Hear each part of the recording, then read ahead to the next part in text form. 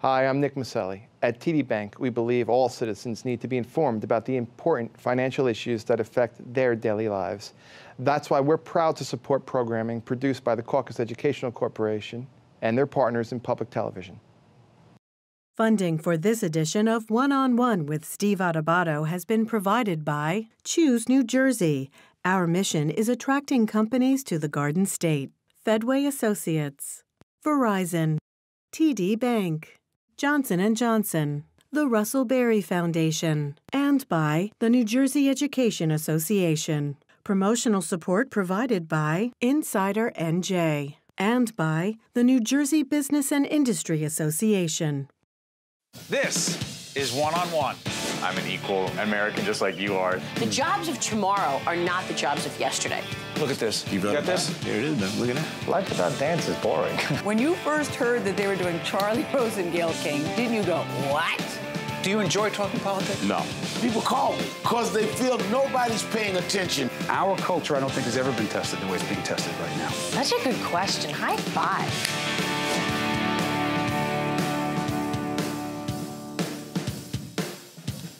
Welcome to One on One. I'm Steve Adubato. It's our honor and pleasure to introduce Dr. Alain Sanders, who is Associate Professor of Political Science, St. Peter's University, and former Time Magazine senior reporter. Good to see you. My pleasure. Politics Today, 2017, about halfway through the year. It'll be seen after that as well. How would you describe the state of our nation in terms of the political divide? Complicated question? Well, yeah, I mean, uh, the simple answer is highly polarized. Uh, the left doesn't trust the right, the right doesn't trust the left. Uh, the center is uh, uh, delicate, in some ways crumbling, and uh, we're in a serious polarized environment right now. So we're doing this, and then let's just say the Trump administration has provided a whole range of interesting things to talk about. We're doing this uh, literally on the same day that James Comey is testifying. Mm -hmm. uh, everyone's talking about it, but this will again be seen after. What impact has Donald Trump had on the political slash media environment in this country? Well, he certainly put the media on the defensive, and uh, he has uh, uh, put the media in a situation uh, where it has to prove its trust.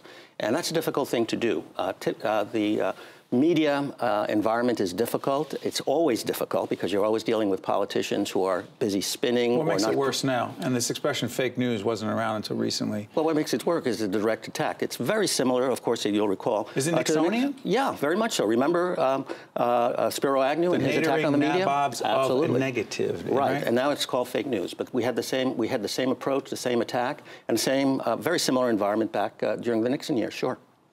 American public, do you think uh, that's not a monolithic entity? But do you think most Americans are looking for those, those of us in the media? Because we often get accused of this. Even though at PBS we don't have a point of view, we're not like MSNBC, Fox, CNN, others who have commentators on the air, anchors on the air expressing mm -hmm. points of view.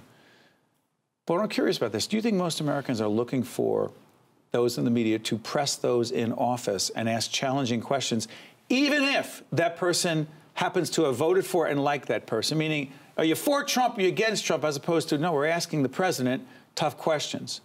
Well, I think there are two there are two components to the American public mind. One one is you want tough questions. You want the politicians to answer those. Questions. And if you don't questions. get a straight answer, do they want us to follow up, or are we just being difficult? No, I think they want you to follow up. I mean, we've had the episodes of the various town meetings where the voters themselves have asked tough questions of the politicians. At the same time, we all want our own opinions reconfirmed, and so it's it's it's sort of a dichotomy. If you find a news media outlet or news report that doesn't confirm your opinion, you tend to be a little skeptical. On the other hand we also want reporters um, to ask tough questions, as we would want to ask tough questions to citizens. We've seen that again in the town hall meetings. So it's so interesting as you talk about this because there are a whole bunch of folks who only watch MSNBC because that is where they believe they belong ideologically. They will not watch Fox. They may watch CNN, and there are many who watch Fox News. and And what's fascinating to me because they have their views reconfirmed. What's the danger of that? It's called narrowcasting, and the great danger is that it reinforces your own world. You shut out uh, contrary opinions, and therefore your worldview becomes distorted. In the old days, as you well know, we had just basically three television networks uh, and um, a relatively smaller number of newspapers or national newspapers, and so you were forced to flip through everything stuff that you agreed with as well as stuff that you disagreed with. Today, you can call it uh, my, my daily, you know, my daily news, and, mm-hmm. and only get that with which you agree. And that's always dangerous. You really have to uh, be exposed to contrary points of view so that you can inform and, you can form an informed judgment. The other piece is when you signed on board at Time, the internet was not the internet. Social media was not, you know, the social media we know. What impact do you believe that the internet slash social media has had on the way we consume information and our overall attitude toward politics? I think it's had a negative impact. I'll tell you. Uh, negative? Negative, absolutely. I tell you something that I was told when I first uh, uh, signed on to work with uh, the internet uh, element of Time magazine. I was told, make sure that whatever you want to say, the most important things that you want to say, fit a TV screen because people may not scroll down below that. So whatever you want to say, make it quick, make it short, make it um, interesting right within the framework, the first framework of, of, the, of, of the screen. And really, if you really want to be an informed person, you got to go below the screen. You've got to look deeper. at things much deeper, absolutely. By the way, is this what you teach at St. Peter's? I teach mass media, and sure, and I tell them absolutely take a look at things much more deeply, read widely. I, I'm a, a tough professor that insists that my students read because that's really where you're going to get uh, the real information. Question about it's interesting how you're talking about media, how we get information. The monetizing of news, what does that mean? The monetizing, meaning yeah. money? Yeah. Like I gotta, if we're not sure. making money with it, it can't be good. Sure. Well, that, that's the problem. I mean, understand that most of the media in the United States is privatized. So that's good because it's well, not under the thumb. you got us. But you also are getting funding from private corporations. The, the, we sure the, do. We disclose so, all that right up in front on the right. air. So, but you have a problem with that? No, but but it creates a it creates a problem. This is this is the problem. The good news is, of course, that you're not depending on government funding. So, of course, you can be independent. But the bad news is you're always searching for an audience, and to do that, uh, for many networks, for many news outlets, you're dealing with something called infotainment. You have to mix information together with an entertainment component. You got to draw the readers in. You got to draw the viewers or the listeners in. And so it needs to be a balanced approach. Some professional outfits do that, others don't. They focus more on the attainment than on the info. Yeah, but if politics is seen as largely quote unquote entertainment, and some might argue that Donald Trump was very entertaining during the campaign in 2016, fair mm-hmm. to say? Sure. What impact does that have for the future for candidates who know how to be, quote, entertaining in an election, we got these serious issues. Well, entertaining, of course, always depends on context. So Donald Trump can be entertaining by being different in the way that he's different. The or next say set, outrageous things. Right. The next set of candidates can be entertaining by being entirely different. Explain that. Well, by being by being uh, reasonable, by making a reasonable argument, by being uh, using sound bites to actually say uh, what actually is truthful. Uh, Donald Trump has told us that he engages in truthful hyperbole. I mean, that's on record. Truthful his, hyperbole. Yeah, that's in his so book. because he exaggerates and because he embellishes, mm-hmm. but do you think that's he says it's a more interesting story? But it might be a, a less accurate story. It might make for a good business deal, but does it make for good diplomatic relations? Does it make for good relations with Congress? Let me ask you this one. I mean, I don't know if this happens at, at your university um, or in your private life.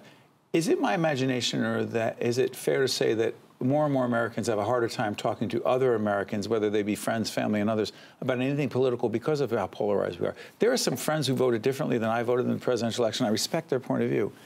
But my God, the conversations I got into, into with them were heated, and I didn't want it to be that way. It was personal. It was Am I making too much of this? No, I don't. I think you're not. I've heard that from many people that the political conversations are more difficult, in part because of the climate uh, that uh, Donald Trump has created. Well, it's not on. Let's be because he, he created that environment. He exploited it.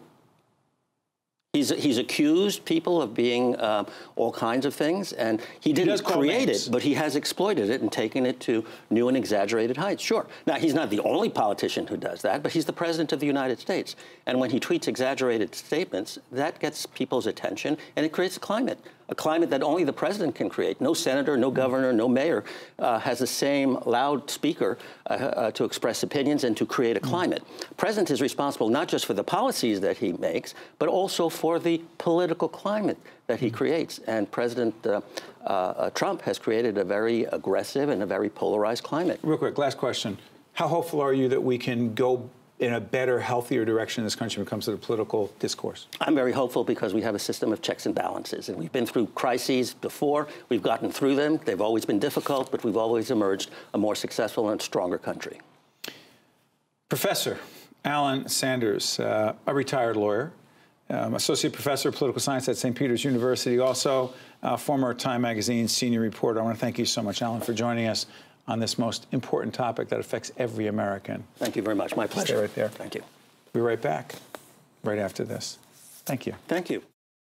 To watch more one on one with Steve Adubato, find us online and follow us on social media. We are honored to be joined by Dr. Steven Brower, Medical Director, Lefcourt Family Cancer Treatment and Wellness Center, and Patricia Mazzola, who is Advanced Practice Genetics Nurse, Englewood Hospital Medical Center. Good to see both of you. Good to see Thank you. you, Steve. Are you ready for this? I think it was two and a half years ago. I'm on a tour with Warren Geller, right? Your CEO, of this facility that you're going to have. This is it. I was walking through, I saw concrete, I saw, what are they going to have here? This is it. Describe what it is.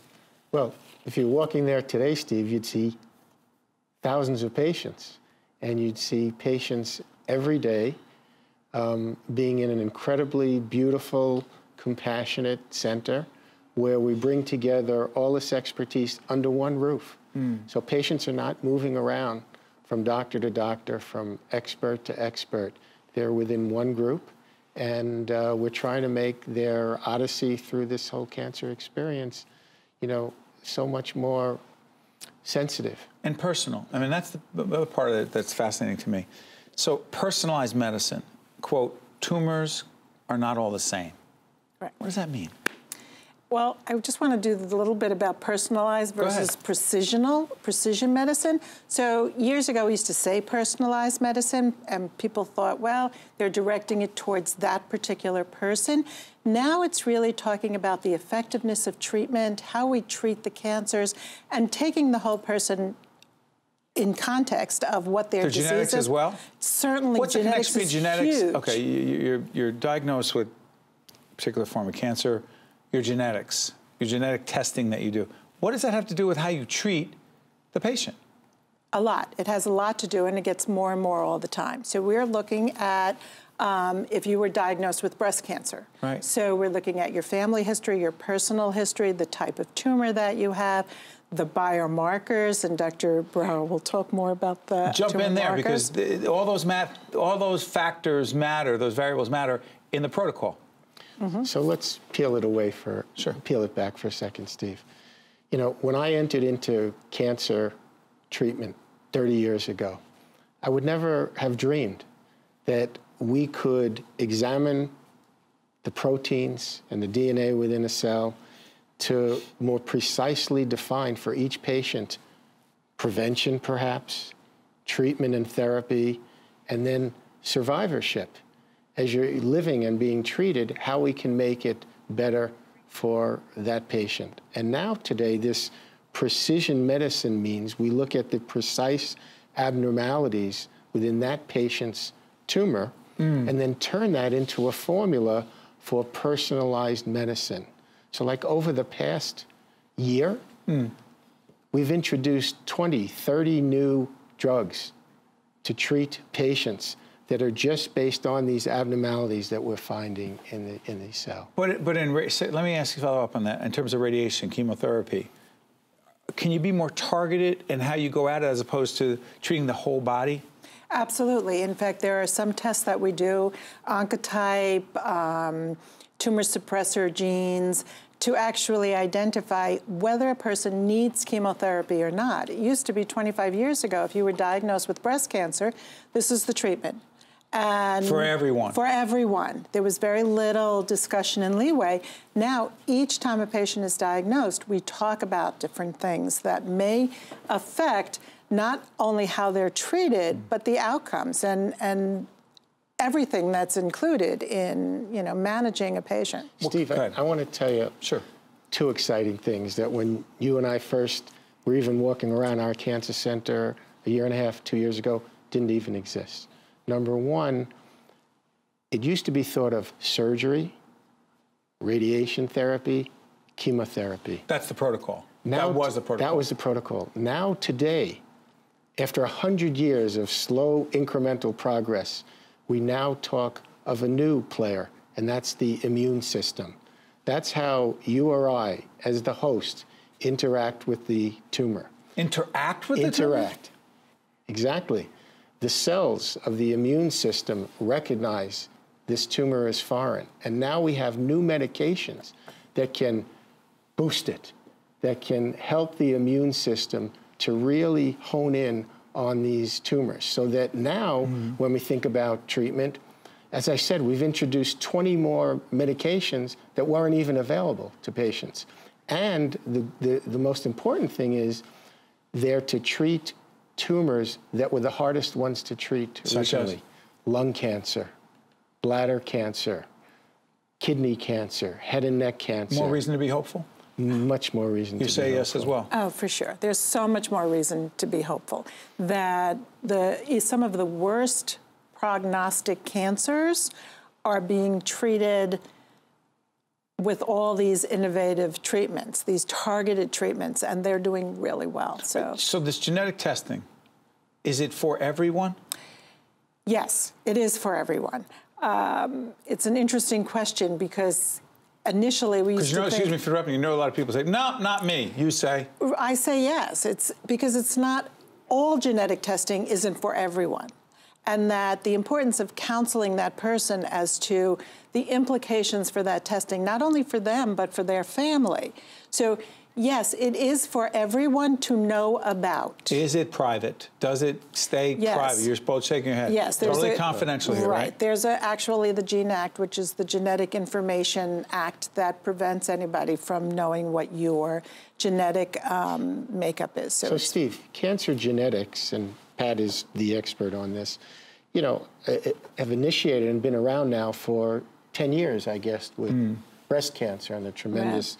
So we've learned a lot about uh, confidentiality. That's right. Uh, what it means when you have to tell not only the patient but their family this news.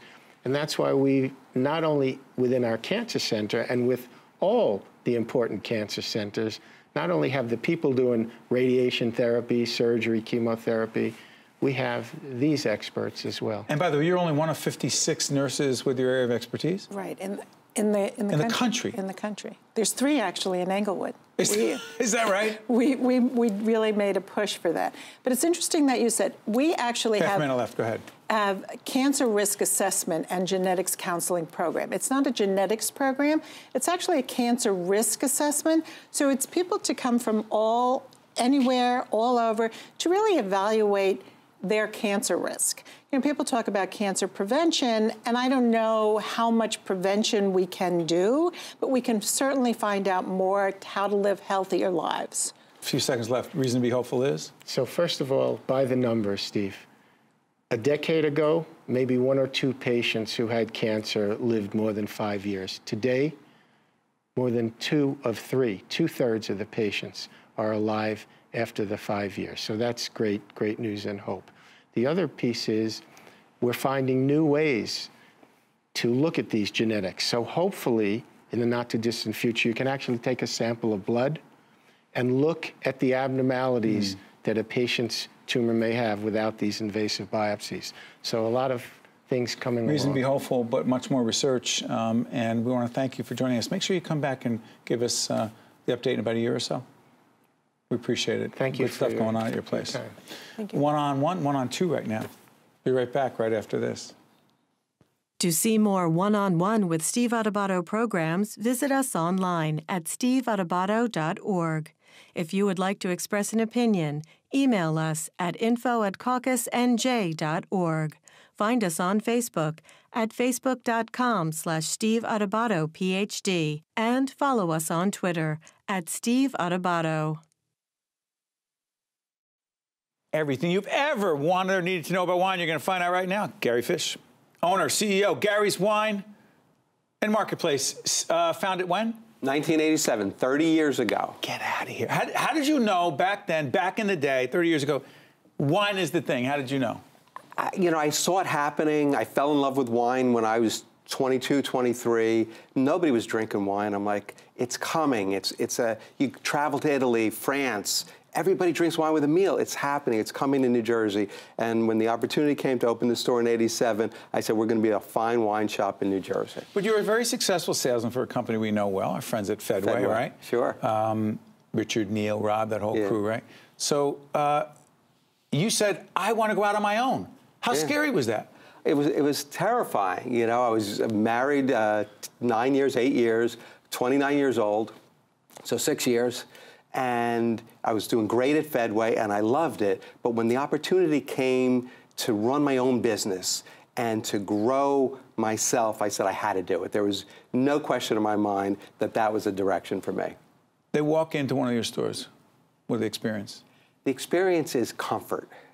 We treat every customer that walks in as a guest, as a friend of the family. You come to us, we don't sell you wine. We have a conversation about what you want. What are you having for dinner? What do you like? What don't you like? And then through conversation, we figure out what is the best beverage for you, whether it's a spirit or wine or beer. It doesn't matter to us. It's about making you happy. How do you train your people to do that? Because that's not just selling. That's something more complicated than that. you know, we Or joke. different, maybe not well, we joke because we, we try to hire people that have passion for wine and selling, and then we taste so much wine. We drink so much bad wine, so you don't have to. That's really You- what you we get- do. that- that's how you get to what you want and need. A, it allows us to taste an enormous amount of wine. B, it allows us to, to filter, right? There's thousands of wines coming at us every day. And what we do is we say yes, no, yes, no. Our wine team is tasting along with us. So then when the guests come in the store, mm. they've tasted a lot of wine, so they have an experience and a feel for what we like, so they can hand it off and pass it on to our guests. But you also do a lot of traveling to find out Chile experience, wine. Go ahead. Oh my God. January, I had the opportunity to go to Chile. And I brought my wife, so that was an extra bonus. I just figured I'll throw that in there, you know, make her feel That'll good. work. We're looking right now at you. Go ahead. And what happens there in Chile? So Chile, they, they brought all the winemakers to Patagonia. So Chile is a long country. And as the Chilean people taught me, to know Chile is to love Chile. And it's such a diverse community of grower, grow, uh, a diverse community of growing regions and people and food styles and wine styles that they brought all the winemakers together in Patagonia. So every morning we would get up at nine o'clock, get up early. Nine o'clock we taste 32 wines, and then we go for a hike. Then we'd have lunch and taste 20 different wines. Then we'd get on a boat and do a tour and taste 15 experimental wines. And then we'd have a food and wine pairing for dinner. So over a course of a week, we tasted hundreds of wines right there with the winemakers on, hmm. on spot. And so we got to share and bond and talk to them. But, but Great experience. But, but Susan, for inter- interrupting, Gary, but then what happens is you bring some of that wine back. Well, what I do is we come back now, and I am fired up and jazzed about Chilean wines. So first thing I said to the wine teams is we have to make room. We had about 30 Chilean wines. We brought in 50 new wines. But because I was enamored and I was in love, we retasted about 90 wines. And from that, we pared it down to about 45, 50 new Chilean wines we brought in. Awesome. By the way, the charity work, uh, I want to plug Grand Tasting Event. What is it and why does it matter? Because it makes a difference for people. It makes a huge difference. First, we've been doing it for about 28 years now. What is it? It's our Grand Tasting. So every year we we round up about 70 wine vendors, including our friends at Fedway. Right. Um, all major wholesalers are involved. A lot of vineyards from Napa Valley and uh, Italy come and bring some great wines for our guests to taste. We then donate all the money back to charity. All the money? All the money back to charity. We make no money on it. We, we all the expenses the store generates, and we, we've donated to Morristown Hospital, Memorial Hospital for years, uh, Interfaith Food Pantry. Uh, we've done some Big Brothers and Big Sisters, uh, and, you know, and we do the community theater in Morristown. Great stuff. Uh, so we do a lot. We try to balance it between the hospital and the care and the need and the culture of the arts because they clearly don't get enough money. Getting your name out there, getting the brand out there. I mean, you do you actually do spots uh, and connect it with us, but you also you actually were telling me the spot you've had you've had for a couple of years. It's a strong spot. But here's the question: Is that the way you market and brand and advertise, or is it word of mouth, or both? It's it's both. You know, I, for us, it's about word of mouth. It's about people having a great experience in the store and then telling their friends about their great experience. And that to me is the most important. And that's also, you know, we talked about the grand tasting. It's also for me now about giving back to the community. That I feel if I'm out there and we're donating money and we're helping, you know, I was just did I was the MC at New Jersey Battered Women. We And- just had those people in here in Morris County. They're extraordinary people. Extraordinary people. I've, I've fallen in love with what they do and how they do it. And we raised about $170,000 in seven minutes. Seven minutes. I had to hug everybody that donated It's all money. good. It was all good for seven minutes. Some people offered to donate more if I didn't hug them, but that's another But what a great cause. But it's a great cause. I'm on the board of the YMCA in Madison. We love those folks. YMCA teaches more people how to swim than any other organization. I was just uh, joined the board of the Community Foundation. What a New great Jersey. organization, Hans up there. Hans is fantastic. They help Newark. So, so part of what I'm doing is I'm trying to reach out and not just help the business, but help the community that has helped us. Gary's Wines and Marketplace. Gary Fisch is a CEO, president, 30 years in it, uh, as young as ever, doing good things, and most importantly, beyond your operation business-wise, you're giving back to a lot of people. Thank you, We sure Gary. try. Steve, Appreciate thanks for having me. And by the way, let's talk governor. One on One with Steve Adubato has been a production of the Caucus Educational Corporation, celebrating over 25 years of broadcast excellence.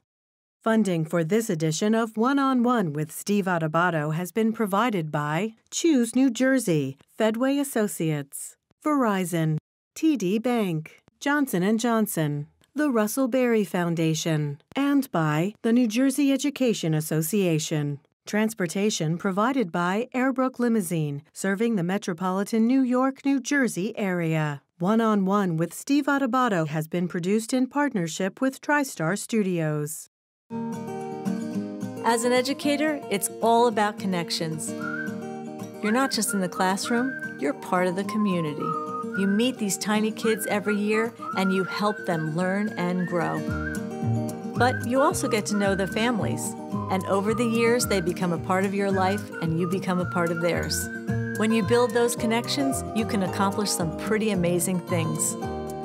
I'm Jackie Kruzik, and I'm proud to be a New Jersey educator.